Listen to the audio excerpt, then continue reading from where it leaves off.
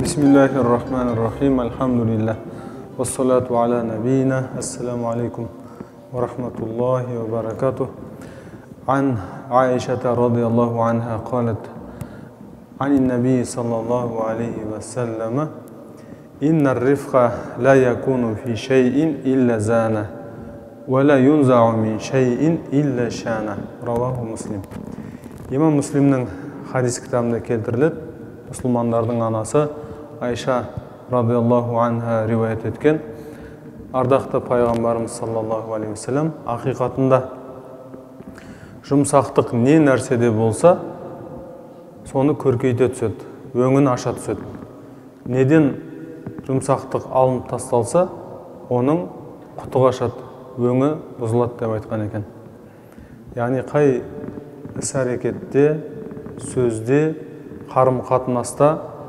жұмсақтық бірге болатын болса ол нұр үстіне нұр. Қай нәрседен сөзден іс әрекеттен қарым қатынастан жұмсақтық кетсе онда сонымен бірге құты да кетеді дейді. Пайғамбарымыздың үзеңгілес сахабалары омар радиаллаху анху айтқан сөзі бар.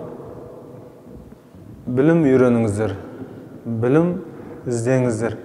Бірақ білім үйренбес бұрын жұмсақтық пен салмақтықты үйреніңіздер деп айтқан екен. Жұмсақтық және салмақтық болған жерде ғана сол адамның іс әрекетінің сөзінің берекеті болады. Солмен қатар муауия пайғамбарымыздың сахабасы радиаллаху анхудың айтқан сөзі бар екен. Адам ақыл парасаты екі жағдайда толысады.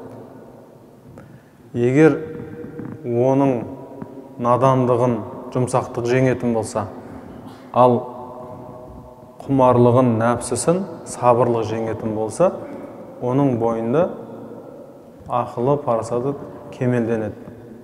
Ал енді жұмсақтық пен сабырлық тек қана соны үйренумен келеді деп айтқан екен.